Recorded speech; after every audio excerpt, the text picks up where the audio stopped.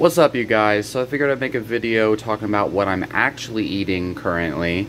Um, so I made an April Fool's joke on freaking April Fool's Day. Uh, talking about being vegan or some nonsense like that. And I was going on about eating like a gorilla and blah blah blah, all that nonsense. Well, obviously that was an April Fool's joke. I'm not actually vegan. Uh, my freezer is currently full of meat but this meat will only last me about, I don't know, two weeks. I'm obviously not vegan. I actually lost six subscribers on April Fool's Day because I made a video joking about me becoming a vegan because I was enlightened by uh, Milton Mills saying we need to eat like a gorilla to get big.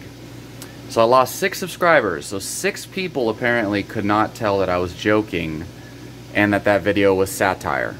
So either I'm a really good actor or those people's IQ levels are too low in order to follow my channel's content. Or it's a combination of both, probably. But yeah, I'm definitely not vegan. So right now, I eat at least two pounds of red meat a day, coming from beef. And then I also eat uh, quite a bit of calf liver. That's what that is right there. I've been experimenting with muscle meat recently, and uh, I do consume quite a bit of raw, unfiltered honey, um, and I always try to get my honey local. Here in Texas, we have the awesome fact that uh, two things that you can always get here in Texas locally is local Texas beef from HEB. HEB, um, the, I think all of the beef that they sell, that's conventional at least, is um, Texas beef from local farms. And I have some friends that actually uh, give a lot of their beef to Texas, or to HEB. Um, and then local, raw, unfiltered honey. My favorite local honey is uh, Kelly's. Kelly's local honey. And you can tell that that honey is real, that it's real honey, number one by how how thick it is, like how how hard it is to uh, pour the honey out of the jar. But the main giveaway is um, whether like how how hard it is to dissolve in water, basically. So I put my I put my honey in, in coffee a lot of times after I mix it with heavy cream, and if it stays at the bottom of the cup until I mix the crap out of it, that probably means that the honey is real. But uh, also, if you get it from local farms, then it's probably real as well, um, generally speaking, if you know the farm where you get it from. So, I also have been using extensively um, Hyperion Herbs, Duanwood, Reishi, and Cordyceps extracts.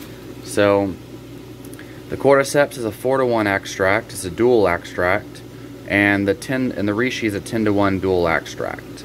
And no, I am not sponsored by Hyperion Herbs. I doubt that they'll ever sponsor anybody. The reason why I always talk about their herbs is because they are probably the best brand on the market to get your herbs from. Uh, these are the most potent, uh, proper extracts of these tonic herbs that you can get. So yeah, I've been taking cordyceps and reishi with my coffee in the morning.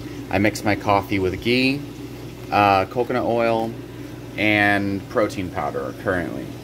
I'm also experimenting a little bit with uh, Panax ginseng extract and, and tribulus in the morning, but um, oh, and lion's mane. I take about a fourth of a teaspoon of a four to one lion's mane extract.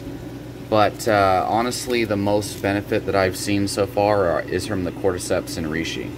And Hyperion Herbs does have a lion's mane, but I'm still undecided on, on the effects of lion's mane. So, anyway, um, I do also eat a little bit of fruit here and there. Sometimes I'll boil I'll boil my meat, uh, and then I'll pour the meat and broth over frozen fruit. As you can see, I don't have any frozen fruit in my freezer right now. Um, but I like to do that for my potassium, the fruit and then the, the, the broth from the meat gives me all the potassium, magnesium I need, and maybe a little bit of vitamin C even though it's heat sensitive. and I get my carbs from honey um, surrounding my training sessions. And I only eat carbohydrates uh, based on my activity level for the day to help out the Cori cycle and um, gluconeogenesis, whatever.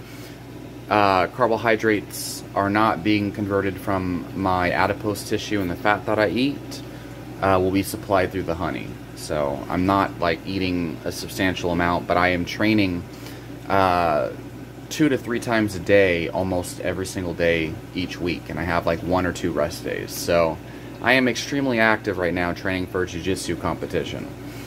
So people who like will crucify me because I'm eating honey and fruit, I don't really care. Like I think that that's foolish. So this is what I'm eating. I'm not vegan. Thank you guys.